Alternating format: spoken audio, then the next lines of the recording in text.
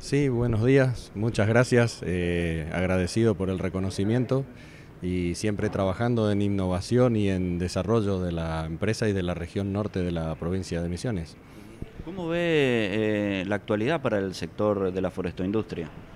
Eh, bueno, el sector está un poquito complicado con el mercado interno que, que tiene sus altibajos y que en esta situación económica está pasando por un momento un poquito complejo pero nosotros eh, estamos exportando madera hacia el exterior, que ese mercado sí se, ha reactivado por la situación del país, digamos, sí.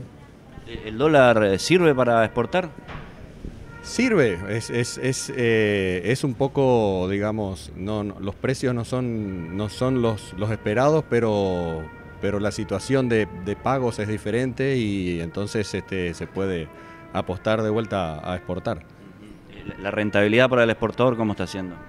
Y es un poco más baja que la rentabilidad en el mercado interno cuando uno tiene un producto que puede defenderlo con, la calidad y el precio. Eh, en el mercado externo es diferente porque los productos tienen sus precios estipulados y si uno llega con el precio y con el producto y la cantidad, exporta. Si no, no. Es sencillo ¿sí? en ese aspecto. Eh, ¿Cómo está afectando el sector el encarecimiento del financiamiento? Bueno, nosotros en este momento no estamos tomando ningún tipo de financiación externa, eh, hemos tomado anteriormente este, y eso nos permitió crecer y ahora estamos este, planificando cómo haremos las próximas inversiones, que siempre en la industria siempre, siempre hay que innovar y eh, e invertir en nueva tecnología, nueva maquinaria, nuevos procesos. Esta dificultad de acceder al crédito, imagino, debe ser una limitante importante para planificar inversiones, porque es difícil invertir solo con la plata propia. Sí, la verdad que sí, y más en un país con, una situación económica como la actual, donde las tasas son este, muy altas, digamos, las tasas de los préstamos, es imposible invertir de esta manera. ¿Y ¿Cómo en el futuro para el mercado interno? ¿Creen que se puede llegar a recuperar? ¿Que puede haber algún segundo semestre o algo similar? Yo no, sabría decirte qué va a pasar en este país, ¿sí? porque realmente es, muy complejo lo que está pasando. Eh, hemos tenido una baja a partir de agosto del año pasado y, todavía no vemos que se esté reactivando, ¿sí? por eso tuvimos que salir a, para mantener eh, toda la, estructura y, este, y, las, y las ventas y la producción, tuvimos que salir a exportar. Pero no, es difícil hacer un pronóstico en este país realmente. Eh, la, generación de, energía se presentó como, una alternativa eh, también de rentabilidad para el sector foresto industrial. ¿Cómo ve esa posibilidad? Sí, eh, nosotros en ese caso, en este caso habíamos hecho la, planta de energía antes, sí, y justo cuando salió la, ley de energías renovables pudimos acceder al, al mercado eléctrico para vender la energía. Hoy en día es una alternativa, sí este, para, para aprovechar los subproductos que tiene la industria. ¿sí? Eh, yo creo que los números son bastante justos si uno quiere hacer exclusivamente generación de energía, porque requiere un montón de logística, mucho combustible, o sea, mucha biomasa, y realmente cuesta, es, algo complejo, digamos, pero no es imposible de hacer. ¿sí?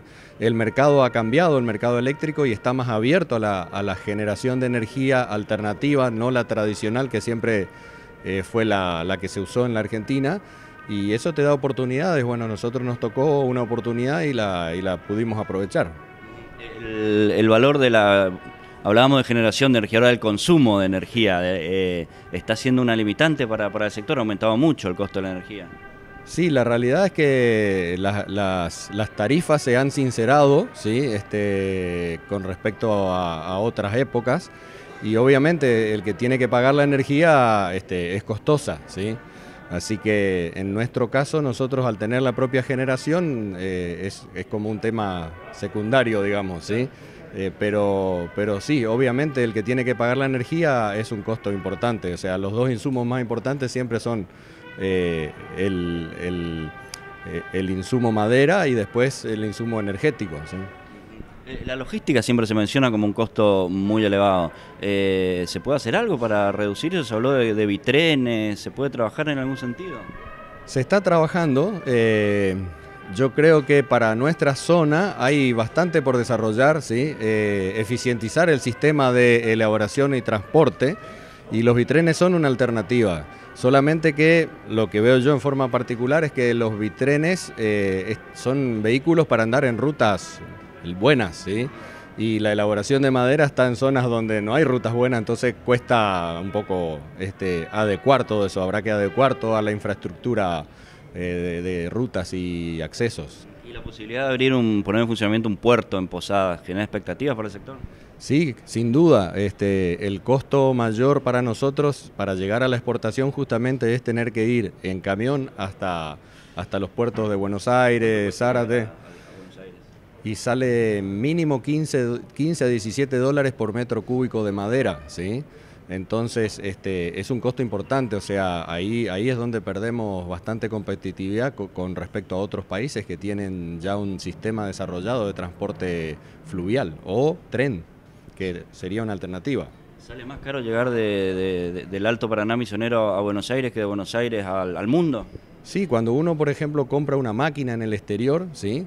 El flete eh, en barco desde cualquier lugar del mundo hasta Buenos Aires es más barato que el flete en camión desde Buenos Aires hasta, hasta Misiones, por ejemplo, ¿sí? Entonces es un costo importante. Sí, no tienen relación exactamente, sí.